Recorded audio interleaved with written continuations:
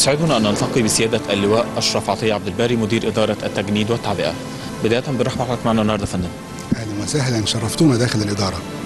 يمكن شباب مصر معظمهم كلهم في فترة من الفترات بيعدوا آه، بي- بيتعاملوا بشكل مباشر مع إدارة التجنيد والتعبئة.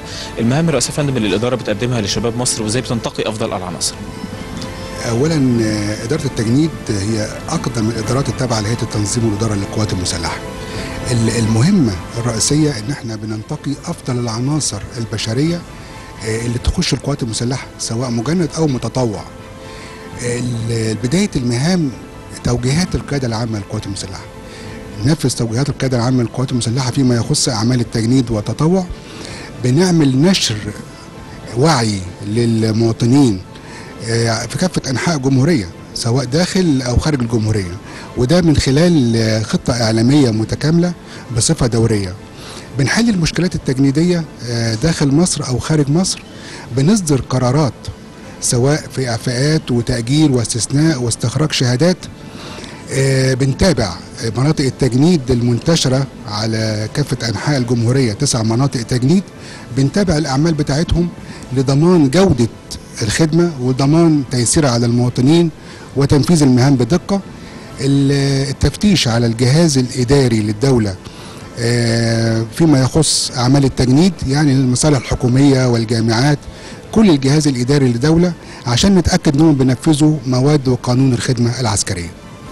فندم يمكن في شباب كتير من المحافظات بعيدة جدا آه، وطبعا الإدارة بتحاول تقدم لهم أكيد خدمات ميسرة. الخدمات الميسرة دي بتتمثل في إيه لهؤلاء الشباب فندم؟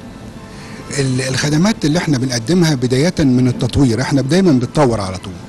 إحنا بنطور الخدمات ب- التجنيدية لجميع المواطنين بداية من مجمع خدمة المواطنين اللي موجود في رئاسة الإدارة هنا وجميع مناطق التجنيد التابعة لينا.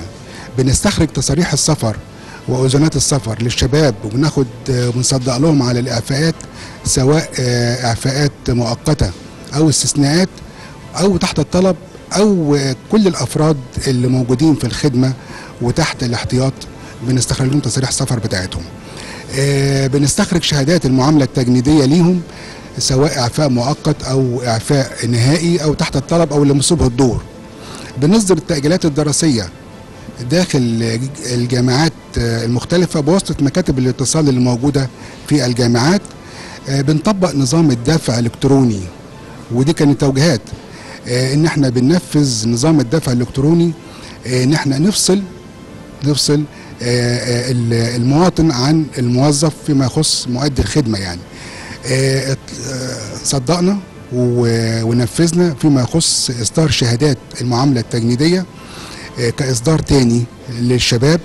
وإحنا عملنا شهادة يمكن بحجم الكارنيه آه، شهادة آه، بالشكل ده عايزين برضو نظهرها لل- للمواطنين الشهاده بحجم الكارنيه تصدق عليها من القيادة العامة للقوات المسلحة وديت بتعاون أجهزة الدولة في إن هي تتحقق من الموقف التجنيدي للشباب وفي نفس الوقت بتدي ميزة إن هي الحجم بتاعها ممكن يتحط في المحفظة الخاصة بالشاب وفي نفس الوقت بتأدي الغرض وفيها 11 وسيلة تأمين عشان نضمن عدم تزوير.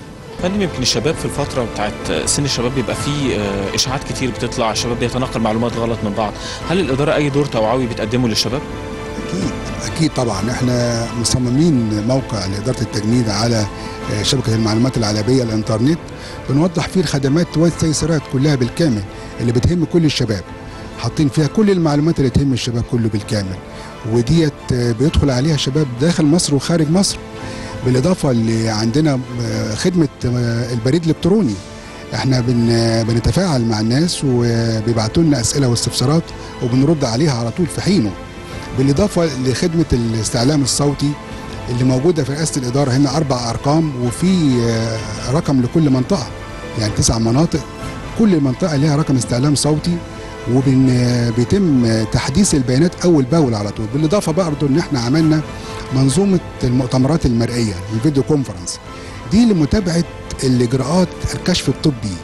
بنشوف آه، شباب وبنطمئن عليهم وبنشوف إجراءات الكشف الطبي وبنشوف الناس اللي واخدين عدم لياقة طبية.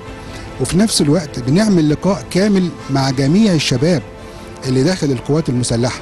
يعني إيه؟ يعني إحنا بنتكلم معاهم كلهم بالكامل وبنشوف أنا بشوف حاجات يعني يمكن برضه عايز أقولها. آه، حجم آه، الوطنية وال- والرغبة في إن هم ينضموا للقوات المسلحة للشباب يعني أنا بيبقى أسعد توقيت ليا وأنا موجود على الفيديو كونفرنس مع الشباب. شباب جميل شباب آه، محترم آه، عنده وطنية آه، عنده الرغبه في إن هو ينضم للقوات المسلحة. وفي منهم من هو كمان بيبقى عنده الرغبة إن هو يروح سينا وهو لسه بيكشف طبي. عايز يروح سينا وعايز يروح أسلحة مقاتلة.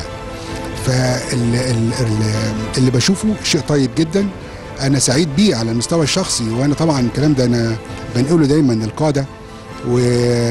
وحاجة تشرف يعني. كل مصري يتشرف بإن الشباب ده موجود. بالإضافة برضو إن إحنا عملنا مركز آه، إلكتروني للمعلومات الخاصة بتقديم الخدمات التجنيدية. ده بيبقى موجود 24 ساعة. ده علشان يقدم الخدمات التجنيدية إن شاء الله لكل المواطنين. يعني إن شاء الله أغلب الخدمات التجنيدية اللي هتقدم خلال الفترة القادمة إن شاء الله هتقدم من خلال موقع الإدارة على الإنترنت. وإن شاء الله في الفترة القادمة آه، آه، يعني بنحدد للمواطن أنت عايز تستلم خدمتك منين. سواء من منطقة التجنيد أو من مكتب أو من آه، من المحافظة بتاعته. ويحدد المكان ونسلمه الخدمة بتاعته في المكان ده. ودي تصديقات القياده العامة للقوات المسلحة بالتيسير على المواطن بشكل عام. عايزين نوجه رسالة لشبابنا آه، اللي بيتفرجوا علينا دلوقتي. تحب تنصحهم تقول لهم إيه؟ كلمة من حضرتك كوالد ليهم قبل- قائد. أنت تحب تقول لهم إيه؟ آه، أنا من الحوارات اللي آه، اللي بتتم مع الشباب يوميا آه، عايز أقول لكم إن هم اللي بيخلوني في الحالة دي. أنا بقول لشباب مصر آه، إحنا سعداء بيكم جدا.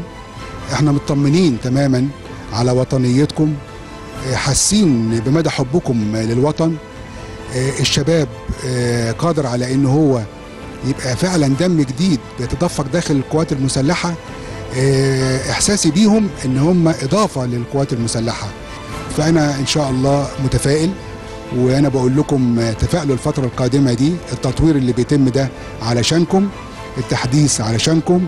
إن شاء الله آه، مصر قادمة بيكم وبشباب مصر العظيم.